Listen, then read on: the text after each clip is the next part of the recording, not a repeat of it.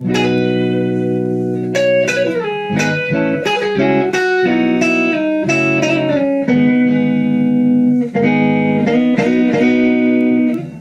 gang. Uh, today we're going to do a beautiful uh, intro to a beautiful song, Elvis Costello's Alison. My opinion, one of the most beautiful uh, songs in all of pop rock. Very cool, and very cool intro from the guitar. In fact, that whole song is very neat.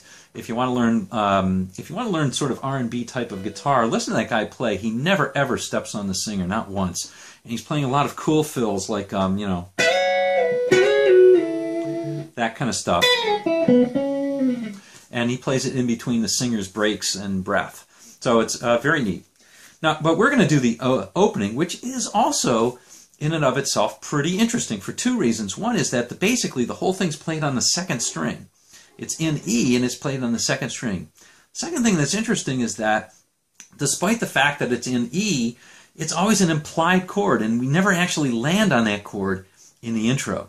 So, in fact, we're playing over the over the following chords. It starts on the five chord, which is a B, and it goes through the following sequence. And that's just an A flat minor, A, uh, D flat minor, B.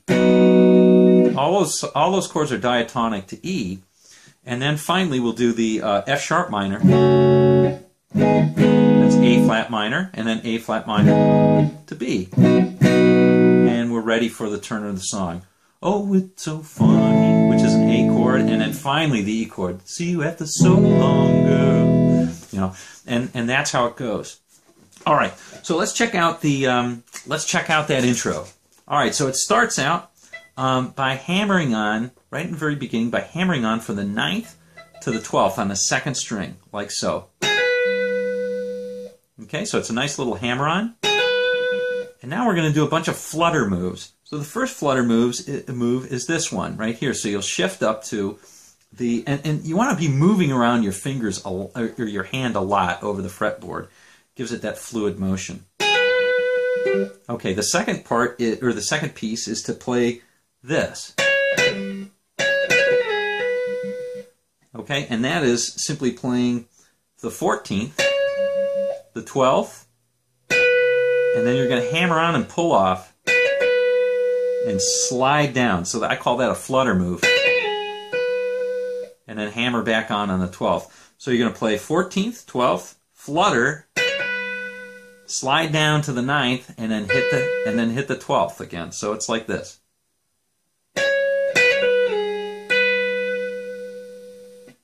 Okay? So so far we've got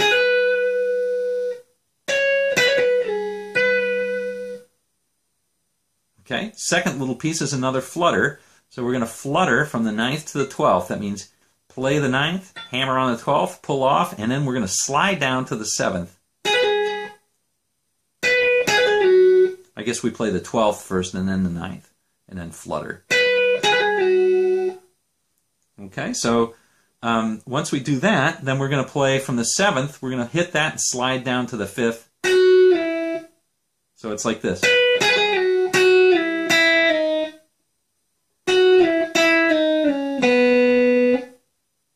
Okay, so it's it's like hitting hitting the seventh, sliding down to the fifth, and then uh, hitting the fifth, sliding down to the fourth, and then playing the second and the open B. Okay. Finally, at the end, we're going to play on the third string. We're going to play from the third and slide very quickly up to the fourth. It's almost like just a little quick note, a little grace note. So we'll play like this and then play on the second and third on the third fret and slide up to the fourth three times.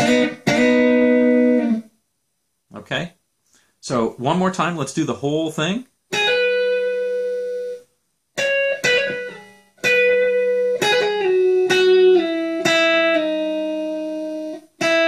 I guess I forgot this. We're going to play the uh, fifth. That's five, four, two,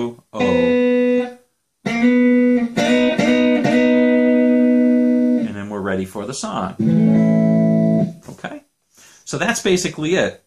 Um, I forgot that little uh, that little walk down, which is the five four.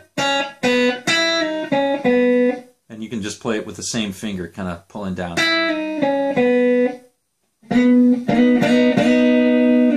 If you really want to, you can also play it in this position entirely by playing, and then on the third you play the sixth, and then play the fourth.